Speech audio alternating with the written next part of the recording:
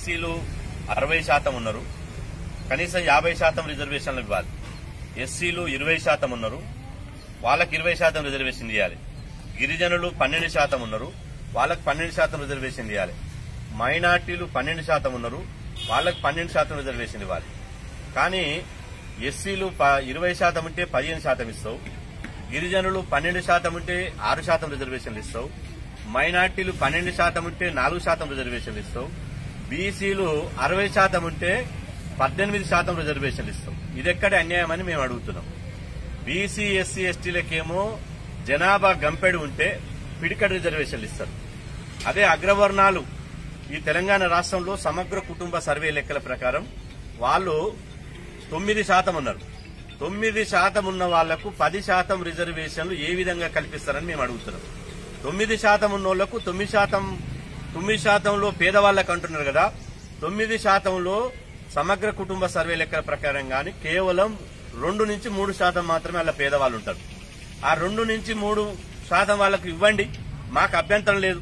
కానీ మాకు మాత్రం జనాభా దామాస్ ప్రకారం ఇవ్వకుండా మేమెంతో మాకంత వాటా ఇవ్వకుండా ఇలా బిర్యానీ తిన్నోనికి పాయసం పెట్టినట్టుంది. ఆకలైనోనికి అన్నం పెట్టకుండా బిర్యానీ తిన్నోనికి పాయసం పెట్టినట్టుంది. మేము ఒకటే సూటిగా అడుగుతున్నాం.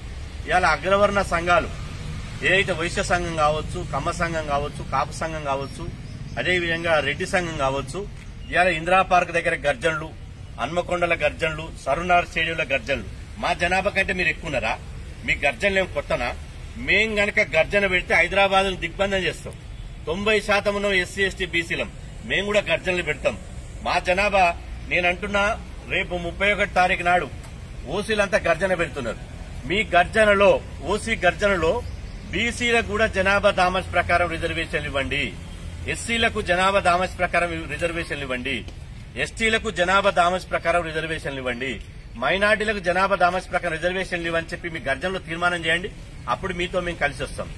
మీకు కేవలం ఇలా స్వాతంత్రం వచ్చినప్పటి నుంచి ముఖ్యమంత్రి పదవులు మీకే ప్రధానమంత్రి పదవులు మీకే గవర్నర్ పదవులు మీకే అదేవిధంగా ఐఏఎస్లు మీరే ఐపీఎస్లు మీరే సమస్త రంగాల్లో మీరు ఏలు పెట్టినటువంటి రంగం లేదు.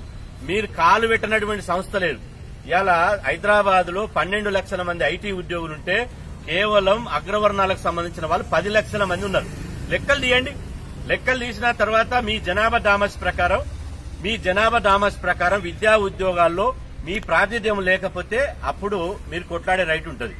మీరు తొమ్మిది శాతం ఉంటే తొంభై శాతం పదవులు మీ దగ్గర ఉన్నాయి. మీరు తొమ్మిది శాతం ఉంటే స్వాతంత్రం వచ్చిన డెబ్బై నాలుగు సంవత్సరాల తర్వాత తొంభై శాతం పదవులు మీ దగ్గర ఉన్నాయి. మేము తొంభై శాతం మేము ఉంటే స్వాతంత్రం వచ్చిన డెబ్బై నాలుగు సంవత్సరాల తర్వాత కేవలం తొమ్మిది శాతం మాత్రమే పదవులు ఉద్యోగాలు విద్యారంగంలో మేమున్నాం తొంభై శాతం ఉన్నోడు తొమ్మిది శాతం ఉన్నోనికి రిజర్వేషన్ కావాలన్నా తొమ్మిది శాతం ఉన్నోడు తొంభై శాతం ప్రాతిధ్యం ఉన్నోనికి రిజర్వేషన్ కావాలా? ఇది తేల్చుకోవాలని చెప్పి సందర్భం గుర్తు చేస్తున్నా. మాకు ఎస్సీ ఎస్టీ బీసీలకు జనాభా డామస్ ప్రకారం రిజర్వేషన్ కల్పించిన తర్వాతనే మీకు కూడా జనాభా దావాస్ ప్రకారం రిజర్వేషన్ కల్పించండి. కానీ మా దగ్గర మా నోటికాడు ముద్దను గుంజి ఇలా చాలా మంది ఏమంటారు అంటే అగ్రవర్ణ సంఘాలు అగ్రవర్ణ కులాలు. మీ వాటా తీసుకుని ఇవ్వడం లేదు కదా. ఈ రిజర్వేషన్లు యాభై శాతం ఎస్సీ ఎస్టీ బీసీలకు కేటాయించి అదనంగా పది శాతం ఇస్తున్నారు కదా మీకేం వచ్చింది అని అంటున్నారు. మేము అంటున్నాం కదా మాకు తొంభై శాతం ఉన్నోళ్ళకు గతంలో తెలంగాణ రాష్ట్రంలో ఆంధ్రప్రదేశ్లో మాకు అరవై ఒక్క శాతం రిజర్వేషన్ ఉండే. ఇదే అగ్రవర్ణాలు హైకోర్టుకు పోయి యాభై శాతం రిజర్వేషన్ దాటొద్దని చెప్పి కేసులేసి బీసీలకు పంచాయతీరాజ్ ఎన్నికల్లో ముప్పై నాలుగు శాతం రిజర్వేషన్ ఉంటే కేసులేసి మాకు పద్దెనిమిది శాతం మాత్రమే రిజర్వేషన్ కల్పించారు. అంటే మా రిజర్వేషన్ తగ్గించింది మీరే కదా. మాకు ముప్పై నాలుగు శాతం ఉంటే కోర్టులో కేసులేసి పద్దెనిమిది శాతం ఇచ్చారు కదా. మాకేమో మేము అంటున్నాం మేము ఒకటే అడుగుతున్నాం. రేపు మీరు అగ్రవర్ణాల జనాభా పది ఇరవై శాతం అయితే అనుకో మీకు ఇరవై శాతం ఇస్తారు. మా జనాభా అరవై శాతం ఉంటే అరవై శాతం ఇవ్వరా? అందుకోసమే ఈ నెల ముప్పై ఒకటి తారీఖున హైదరాబాద్లోని సుందరయ్య విజ్ఞాన కేంద్రంలో రాష్ట్రంలో ఉన్నటువంటి అన్ని ఎస్సీ సంఘాలు ఎస్టీ సంఘాలు బీసీ సంఘాలు మైనార్టీ సంఘాలు ప్రజాస్వామికవాదులు మానవత్వవాదులు అందరితోటి ఒక విశ్వసాయి సమావేశం ఏర్పాటు చేస్తున్నాం. ఆ రోజు జేఏసీ ఏర్పాటు చేస్తాం. అదేవిధంగా భవిష్యత్తు ఉద్యమ కార్యాచరణ కూడా రూపొందిస్తాం. ఖచ్చితంగా మా ఉద్యమం బీసీ ఎస్సీ ఎస్టీ ఉద్యమం ముప్పై ఒకటి తారీఖు నాడు మేము కార్యాచరణ చేపట్టబోతున్నాం. ఒకవైపు లీగల్గా పోరాటం చేస్తాం. ఇంకొక వైపు ఇలా గల్లీలో కూడా పోరాటం చేస్తాం. అన్ని జిల్లాలో సభలు సమావేశాలు పెడతాం.